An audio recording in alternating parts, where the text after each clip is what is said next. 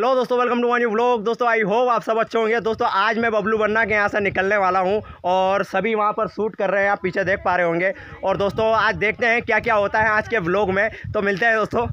तो दोस्तों, मेरे साथ है कृष्णपाल सिंह, जो बबलू के गाँव से है और बबलू के ही परिवार से है, जिनका चैनल है। क्या नाम है? एम पी एम पी सितर व्लॉग ये अभी इन्होंने शुरुआत की है नहीं, और आप सभी से मैं अनुरोध करूँगा इनको सपोर्ट करना और डिस्क्रिप्शन में ये मेरा इंटरव्यू लेंगे और डिस्क्रिप्शन में वो लिंक डाल दूँगा तो आप इनके वीडियो को ज़रूर देखना। तो आप ये देख रहे हैं, बबलू की खानदानी पुलियाँ हैं इससे निकलना बहुत ही मुश्किल है, लेकिन मैं इससे निकलूँगा राम राम करते हुए, मेरे को तो बहुत डर लगता है और चक्कर भी आते हैं, और बबलू को मैं बोलता हूँ, आप पहले निकलो इसमें। ये बबलू निकल रहा है ये नो टेंशन निकलता है क्योंकि इस पर भाड़ा लेके भी निकलता है गाय के चारा बहुत ही मुश्किल से निकलता है लेकिन इसको डर नहीं लगता है इसको प्रैक्टिस हो चुकी है अब मैं निकलने वाला हूँ राम राम करते हुए तो निकलता हूँ दोस्तों ये बबलू की खानदानी मेन पुलियाँ हैं यहाँ से निकलना होता है इनके तो मैं भी कोशिश करता हूँ निकलने की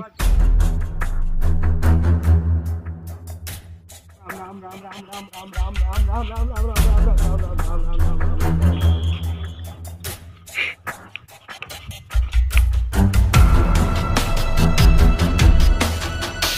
दोस्तों, बहुत ही खतरनाक सीन है यहाँ का, और बहुत ही डर लग रहा है यहाँ पर।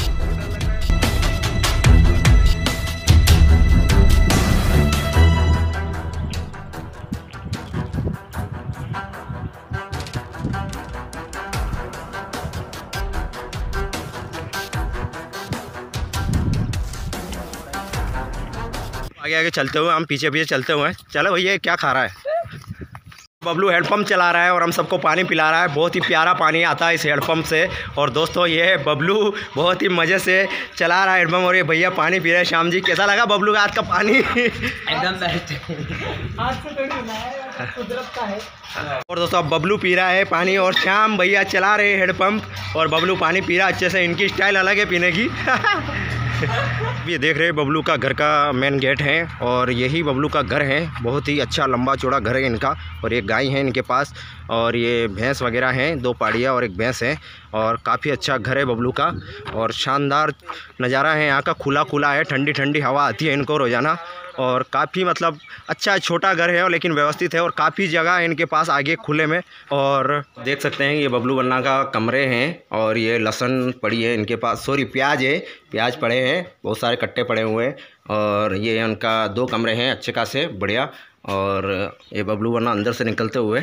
और दोस्तों, मैं आपको बता दूँ ये बबलू बन्ना के पीछे घर का नज़ारा है। यहाँ पर इधर कंडे वंडे पड़े हुए हैं और ये जो भैंस के लिए चारा ला रखा है इन्होंने। बहुत ही छोटा सा गार्डन है उधर। और बहुत ही प्यारा घर है बबलू बन्ना का। तो दोस्तों मैं बबलू बन्ना के यहाँ से निकल रहा हूँ घर के लिए और बबलू बन्ना को मैं बाई बोलता हूँ। बाय फिर आना। बिल्कुल आएँगे और बबलू बन्ना को सपोर्ट करना और मैं यहाँ से निकलने वाला हूँ थोड़ी देर में। तो दोस्तों मिलते हैं फिर। तो दोस्तों हम यहाँ से निकल चुके हैं और ये भैया गाड़ी चला रहे हैं। बहुत ही प्यारी गाड़ी चलाते हैं और ये गाड़ी है श्याम भैया की।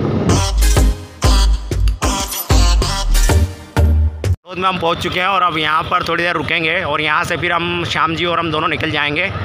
और ये बड़ौद का नज़ारा है हम यहाँ से निकलने वाले हैं। तो दोस्तों ये बबलू के यहाँ का समोसा कचौरी फेवरेट है फ़ेमस है। तो यही खाने के लिए लाए हैं भैया। तो देखते हैं कैसा बना है। कैसा बना भैया? बहुत अच्छा है। एकदम अच्छा। बहुत ही प्यारा बनाते हैं यहाँ पर ये समोसे का धुना मस्त से खा रहे हैं दोनों भैया। ये ये।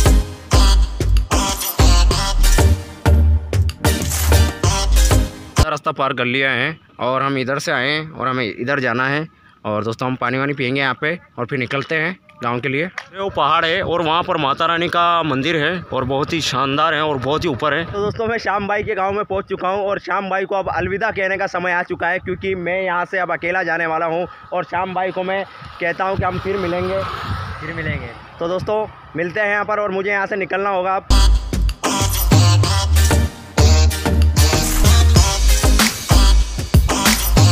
फाइनली घर पे पहुँच चुका हूँ और मैं इस ब्लॉग को यहीं एंड करता हूँ, क्योंकि काफ़ी ज़्यादा मैं थक चुका हूँ। तो दोस्तों, मिलते हैं फिर।